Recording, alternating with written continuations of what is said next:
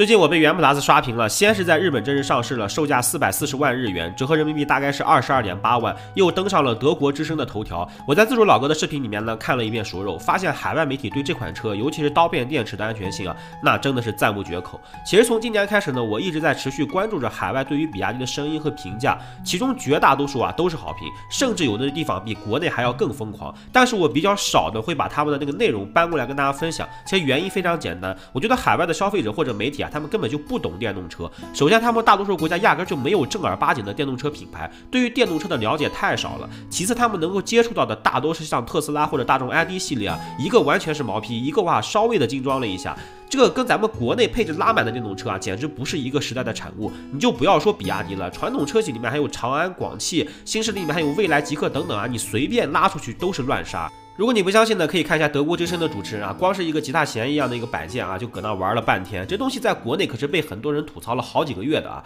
我就喜欢看他们这种没见过世面的样子。那经常看我视频的朋友呢，一定都知道元 plus 这款车在泰国啊非常的火爆，上市初期呢就排队订车，一个月订出了一万多台，吓得比亚迪赶紧停止接单了。趁着一月份过年啊，直接把一半以上的产能全部丢了过去。目前这款车在泰国已经成为了现象级的产品。当地的比亚迪的负责人透露啊，今年单单是泰国市场就要。至少投放五万加的元 plus，而且很有可能会持续加大量级。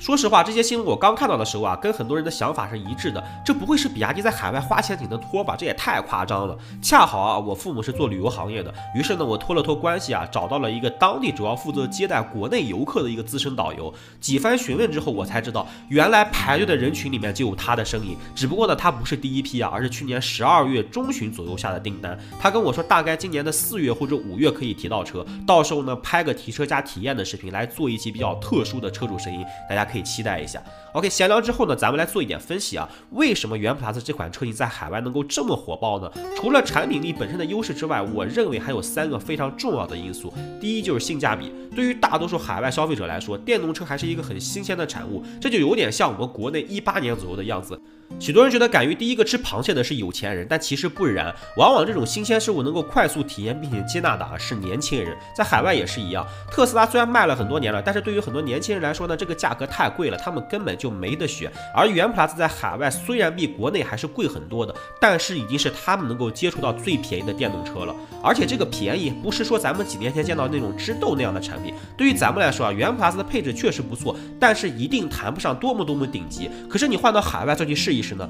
之前有一期讲出口到日本的视频里面，我详细对比了日产的某一个同级别产品，你会发现，无论是续航、充电功率、动力、空调尺寸，还是舒适性的配置上面，元 plus 都是完爆了对手，而且价格呢还要比它低。这里再给大家补充一个冷知识啊，在大多数的国家啊购买一辆车子之后呢，都是需要去当地的配件城再配一个小车机、行车记录仪、三六零音箱等等等等，整个的费用全部下来啊，基本上要再花一万人民币左右。而元 plus 全部都是自带标配的，这就相。相当于是车价又便宜了一万块钱。其二，安全性。从二一年比亚迪还没有大规模出海的时候，比亚迪的刀片电池在海外就已经非常有名气了。我查询了一些资料和新闻，许多地区最开始是比较抵触电动车的，除了政治上的一些因素之外，对于三元锂电池的不信任啊，也是一个很重要的原因。当时刀片电池的发布以及真正应用了一年多之后，海外对于刀片电池的讨论啊就没有停止过。比亚迪经典的针刺实验啊，更是成为了许多视频的必备素材。第三，政策的推动。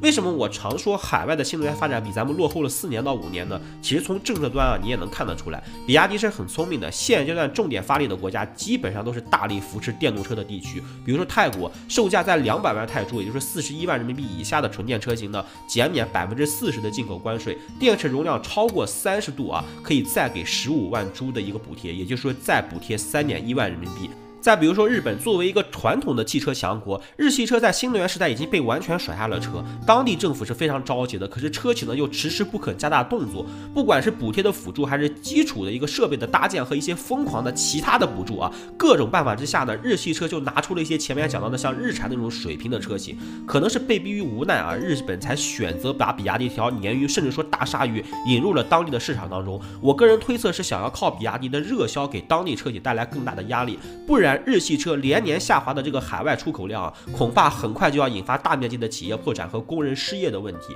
这里再分享一个冷知识：二零二二年开始，国内百分之九十五以上的车企都停止对于燃油车的研发，这里包含了所有的合资公司。这个周期一般是三到四年，也就是说最多到二零二六年，市场上就不会再出现新款的燃油车了，最多就是一些经典车型的换代，那取而代之的就是新能源车型。而且这种现象可不只是在中国出现了。到那个时候啊，如果日系车再没有像样的电动车，那后果就可想而知了。